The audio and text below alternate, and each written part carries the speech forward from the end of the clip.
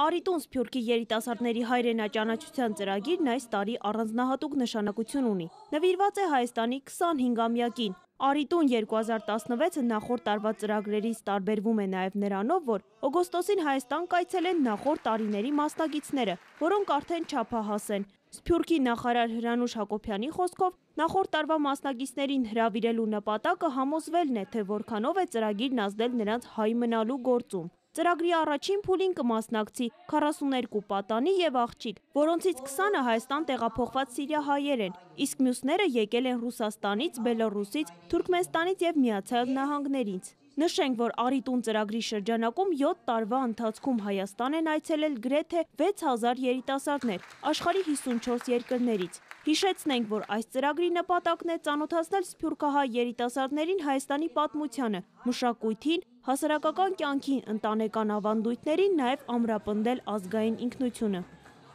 Ես Հայաստան գալիս եմ ամեն համար, որտեղ որ երկիրը չմոռանամ, Եզուս չմոռանամ, Հայաստանում ինձ ծնողներս ցույց են տալի, ծանոթացնում են, սախ գալիս եմ Հայաստան, դա։ Ուրախ եմ, որ այս ծրագիրը այսքան լայն եւ մեծ ընդգրկում